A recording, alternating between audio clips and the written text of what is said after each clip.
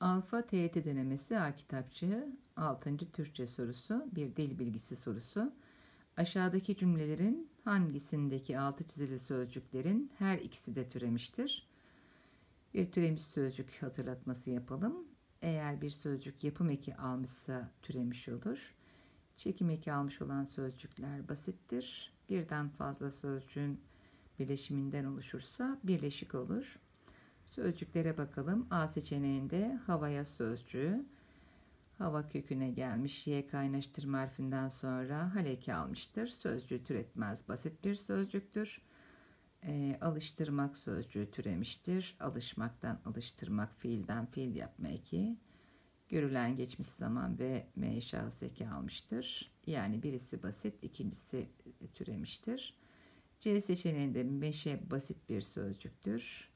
Görünmek sözcüğü de türemiştir. Görmekten görünmek türemiştir. Fiilden fiil yapma eki almıştır. Sonraki ekler çekim ekleri yor ve du.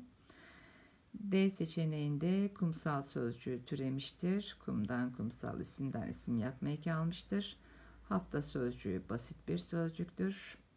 E seçeneğinde oynayarak sözcüğü oyundan türemiştir. Oyundan oyna isimden fiil yapma eki. Arak eki de zarf fiil ekidir. Fiilden isim yapma ekidir. Yani türemiş bir sözcüktür. Oysa suların sözcüğü lar çoğul eki ve ın tamlayan ekini almıştır. Bunlar çekim ekleridir sözcük.